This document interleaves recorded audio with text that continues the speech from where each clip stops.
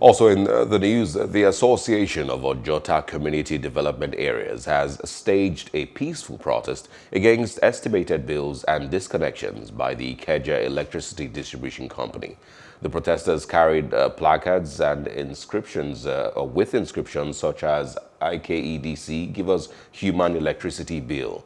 Um, Ojota community is not your ATM. Um, of course, also no to electricity disconnection uh, in Ojota community. And Ojota community says no to crazy electricity bills. The group said that the protest became necessary in view of many complaints by the community members against estimated bills and disconnections by the IKEDC for failure to pay the crazy bills. He said the community was not enjoying regular electricity that would warrant high bills since their homes are not factories. Hello, hope you enjoyed the news. Please do subscribe to our YouTube channel and don't forget to hit the notification button so you get notified about fresh news updates.